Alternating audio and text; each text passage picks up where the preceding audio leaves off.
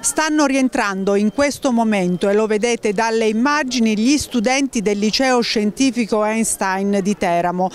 Qui questa mattina si è verificato l'ennesimo allarme bomba a Teramo. Eh, la situazione è stata gestita però in maniera eh, diversa perché la telefonata è arrivata intorno alle 9.45. Ovviamente è scattato il piano di emergenza, c'è stata l'evacuazione eh, sia dell'edificio che vedete alle nostre spalle, la sede principale dello scientifico e sia dell'edificio edificio che si trova in Viale Bovio che ospita alcune classi dell'Einstein.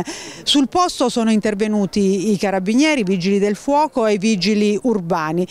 Non sono stati chiamati gli artificieri, i vigili eh, urbani hanno bloccato la strada e i carabinieri hanno effettuato un sopralluogo. Non è stato trovato nulla di sospetto per cui nel giro di poco più di mezz'ora i ragazzi sono stati fatti rientrare in classe. Allora diciamo che noi abbiamo un triste primato che è quello di essere gli antesignani degli allarmi bomba, anzi ogni anno avevamo un uh, episodio ricorrente nel mese di maggio.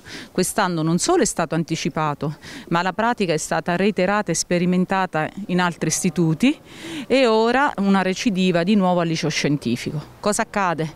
Che avendo noi due sedi è tutto più complesso, perché coordinare anche con i miei collaboratori che sono stati efficientissimi, eh, tutta eh, l'evacuazione è complesso ed è um, un'assunzione di rischio e di responsabilità. Intendiamo collaborare fattivamente con le forze dell'ordine, fornire tutti gli elenchi delle classi in cui erano previste delle verifiche, mm, un plauso anche alle forze dell'ordine che velocemente hanno attuato il protocollo, quindi hanno bonificato eh, i luoghi e si sono preoccupati perché questi ragazzi non perdessero ancora l'ennesimo giorno di scuola.